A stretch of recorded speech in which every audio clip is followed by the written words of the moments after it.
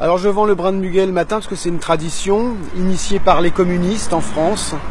Et c'est le muguet de la solidarité. Le muguet du 1er mai, le muguet du 1er mai, bien sûr, c'est le porte-bonheur, mais c'est surtout euh, voilà, le, symbole de la lutte euh, voilà, des salariés, des travailleurs, finalement, euh, de, tout, de toutes et de tous. Bah, c'est un moment privilégié de contact avec les habitants de nos quartiers pour parler des droits des travailleurs, parce que c'est la journée de lutte internationale des droits des travailleurs, et ça prend un sens particulier avec la politique d'Emmanuel Macron puisqu'on on voit bien qu'après la casse du Code du travail, il s'attaque maintenant au statut des cheminots, au statut de la fonction publique.